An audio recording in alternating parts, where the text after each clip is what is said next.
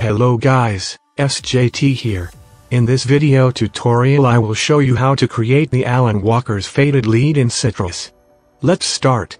Open Sytrus's default preset, select operator 1 and put slider to 35%. Enable envelope under volume and do it like this.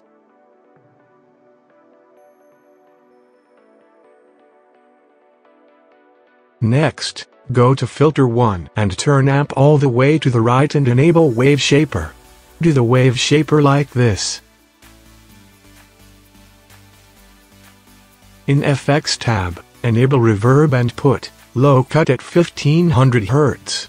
Turn off high cut. Pre-delay at 10 milliseconds. Room size at 50. Diffusion at 10. Decay at 1.2 seconds. High dumping at 3.3 kHz. Wet volume at 20%. In the matrix, just put the first knob and the FX knob all the way to the right. To finalize the sound, open the gear icon here and make sure you have the mono enabled and the knob like this. If you did everything as I showed you, you should get a sound like this.